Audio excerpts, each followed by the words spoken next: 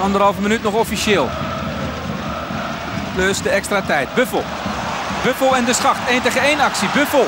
Buffel. Ho, Buffel! Oi, oi, oi. Wat een goal van Thomas Buffel. Een afstraffing voor Anderlecht. Ze bleven aanvallen, zeker ook nadat uh, Camus het veld was afgestuurd. Ze bleven voorwaarts voetballen. En dat mondt uiteindelijk uh, uit in deze schitterende goal van Thomas Buffel. Hij ziet dat Proto iets voor zijn doel staat. Glijdt dan wel wat uit, maar dit is de bedoeling hoor, deze stiftbal van Thomas Buffel. De oud-Feyenoorder laat zien dat hij het nog steeds kan.